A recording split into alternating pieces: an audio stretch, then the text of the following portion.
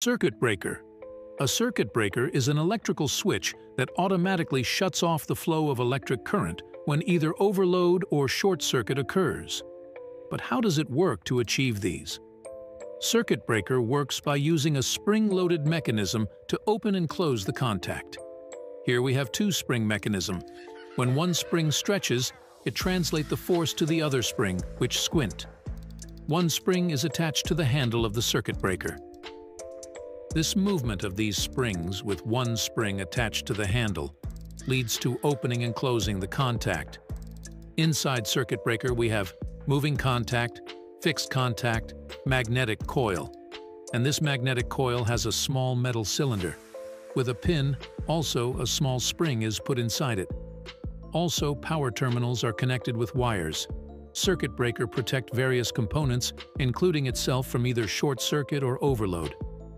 First, when short circuit occurs, the circuit breaker trips. During a short circuit, the current of normal operation always doubles from 10 to 100 times the normal current. This current is huge and can lead to destruction of the electrical device under function. But with a circuit breaker installed, do not worry. Circuit breaker contain magnetic coil. This coil helps when short circuit occurs. When normal current rate flow through the coil, a small amount of magnetic field is induced.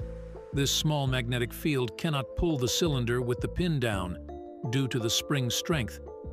But when the short circuit occurs, remember, current doubles 10 to 100 times the normally operating rate. This magnetizes the coil at a very high rate, usually 2 to 3 milliseconds, and large magnetic field is formed in the coil with the help of right-hand rule. The cylinder is pulled downward, pulling the contact down.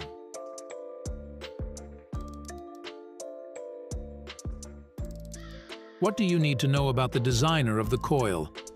Hans Christian Ørsted's law state that when an electric current passes in a conductor, it produces a magnetic field around the conductor.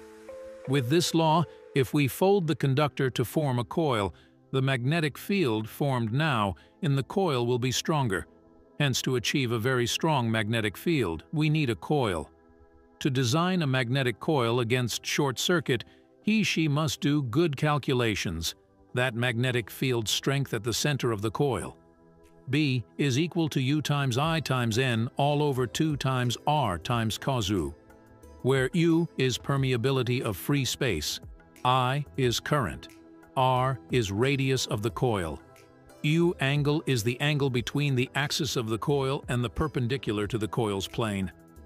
Other factors to consider to relate the equation with is current rating, trip time, and inductance value of the coil under normal operation and under short circuit. Also, wire gauge and wire resistance you have to consider and relation has to be proven of. But consequently, large arc is formed as the contacts open. This arc is dangerous and can cause even fire. Hence, a arc chamber is very useful in the design of circuit breaker. The arc chamber helps in extinguishing the arc. It provides a controlled environment where the arc is directed and cooled, allowing the circuit breaker to safely and efficiently interrupt the current flow. But how is this arc formed? As the contacts opens, an electrical arc forms between the moving contact and the fixes contact. This is due to ionization of air in the gap created. This arc sustains the flow of current. Arc chamber then contains arc chutes, which are designed to quickly redirect the arc into the arc chamber.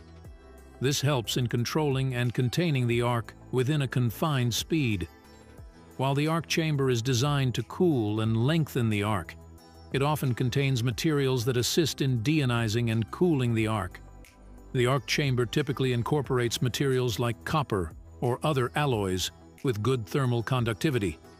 These materials aids in dissipating the heat generated by the arc, helping to cool and extinguish it. Arc chamber does the following. 1. Deionization. Certain materials within the arc chamber are chosen for their ability to deionize the surrounding air. Deionization helps in reducing the conductivity of the arc, making easier to extinguish. Metallic plates and grids contains materials like copper or tungsten. They are good thermal conductivity and can withstand the high temperature generated by the arc. Also, ceramics or composite materials may be used since they have ability to withstand high temperature and insulating capacity. In deep study, I found this topic interesting, so I went further in my research as an electrical engineering student on how actually these arc fumes forms. The electrical arc formed during the interruption of a circuit carries a plasma. This plasma is a mixture of ionized particles including positively charged ions, cations, and negatively charged ions, anions. The exact charge distribution within the arc can vary, but overall, the arc is considered electrically conductive due to the presence of these charged particles. As for the materials in the arc chamber, they are typically conductive materials like metals that is copper and tungsten.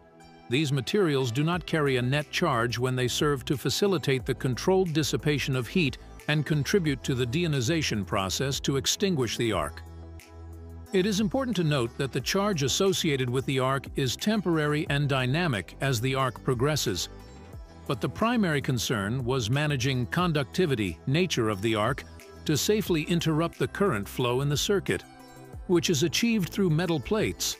They absorb and neutralize the ionized particles, reducing the conductivity of medium and arc. Reduced ionization and lower temperature help in breaking the continuity of the arc, ultimately leading to its extinguishment. Second function of circuit breaker is overload protection. This is achieved through the use of bimetallic strip. Bimetallic here works in a way that it bends to pull the contacts down. When overcurrent occurs, the current usually doubles up to 10 times the normal operation. This can damage some electrical equipment under function we incorporate heating element to the circuit to measure current flow. Resistance and temperature are very crucial in design of electrical heating element. Once the rated temperature is achieved, the bimetallic strip will bend, pulling the contact down. For example, when brass and steel is used and they are heated separately, they expand. But when they are fixally attached, they bend, forming a curving structure. This mechanism helps us design circuit breaker, I hope you found this video informative and if you do, kindly subscribe, like and share our channel. You can also sponsor and promote our videos. Also, I'm available for any design and graphics work as a freelancer, majorly product design, animation, and architectural visualization.